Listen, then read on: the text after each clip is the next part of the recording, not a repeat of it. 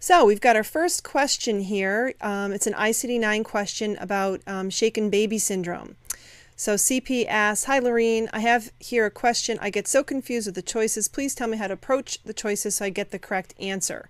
So um, this is obviously must be from a practice test that she was taking. A nine-month-old baby boy is diagnosed with shaken infant syndrome with subdural hematoma and retinal hemorrhages. The daycare worker told the emergency department physician that she shook the baby to make him stop crying. Uh, not a daycare I want to take my kids to. Uh, select the appropriate diagnosis codes for this patient. So this is typically what you would see on a board exam.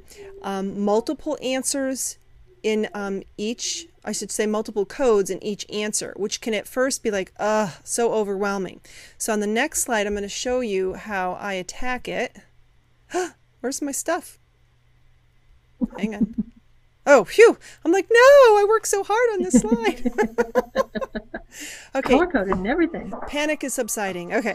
So this is this is my new this is truly hot off the press. My new recommendations for how to attack the board exam. I have discovered just from feedback from students taking the 2012 version that um, that and, and they've always had it multiple codes in the answers but it seems like there are a majority of them are this way versus just a few um, i recently took the cpc i exam that's the instructor exam put out by the aapc and passed thank you and um, it was the whole thing was like this there was no easy questions that one's supposed to be harder but i was like whoo i was tired after that so my new recommendation is to bring in highlighters because you can write in your exam booklet all you want so bring in like multiple colored highlighters. Take the caps off. Don't worry about recapping them because, you know, speed is the issue.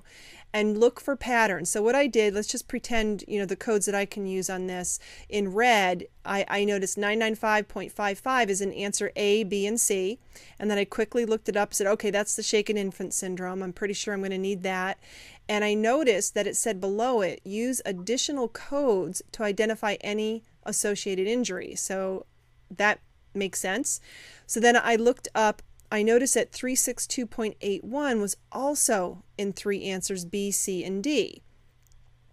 And this is something that I noticed um, and the way my mind works and being visual that I was picking up on these patterns and I could almost without reading the scenario figure out what the correct answer is by seeing if there's three of one code and three of another and only like one here or there of other ones that it's probably like 80% of the time going to be the one where there's three um, showing up like in three different answers okay? So the 362.81 I looked up that's retinal hemorrhage and we did see that up here in blue. And that goes along with use additional codes to identify any associated injuries so then we had these E codes, and I looked up all the different ones. And if you notice um, the pattern, you'll see the only E code that we had three of was the E967.8.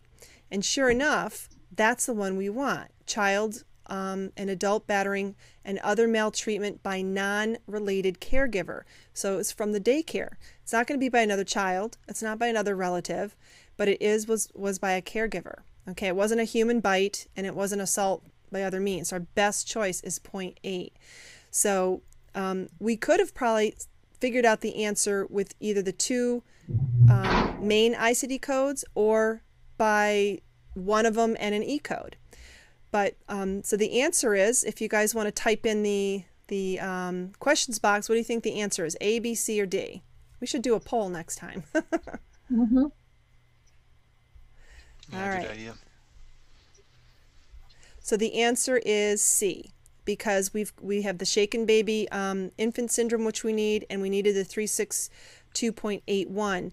Um, now answer A and B both had that in it, right? But the only one that had the correct E code was C. All right, so that's how you really should attack it.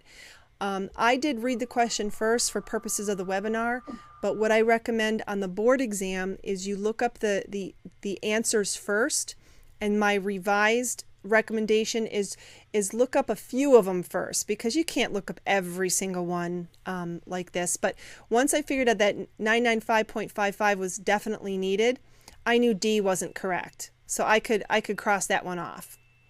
And then once I looked up 362.81, I realized, yeah, I need that as the additional code. So I knew that A wasn't right.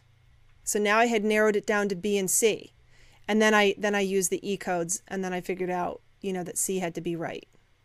Okay, so hopefully that will help with that one. You got some smart coders out there. Yeah. Just about everybody said C. Yay. okay. Get more CPC exam tips, coding certification training, and CEU credits. Go to www.codingcertification.org.